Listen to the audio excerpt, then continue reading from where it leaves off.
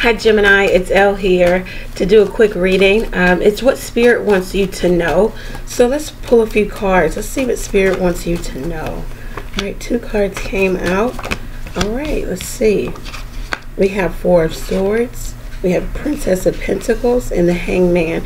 Okay, so some of you are stuck in stagnation about what to do.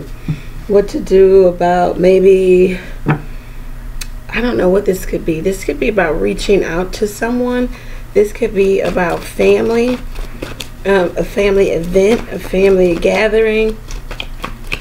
There's a standstill. You're trying to get more information, more enlightenment about. I'm hearing numbers. What is this about? Something that is going to bring you a lot of fulfillment or bring the family together. You're trying to get knowledge about um, how many how many drinks how how many people I don't know.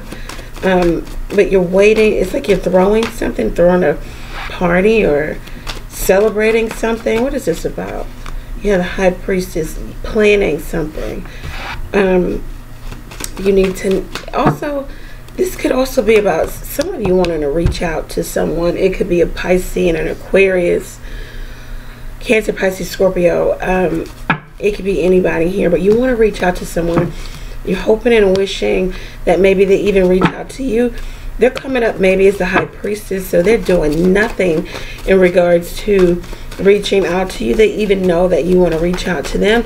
You want to extend the olive branch. You want to apologize. You want to give them a gift. You don't know if you should. Um, you, you, you, you in order to have to reach out to them, do know that you should have made permanent changes.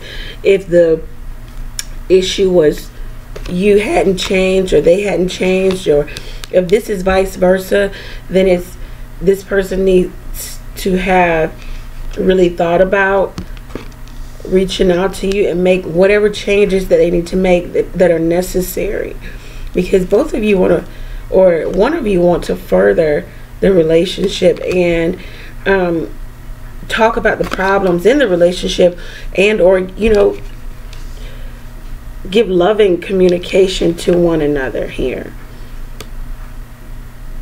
Somebody's weighing up their options here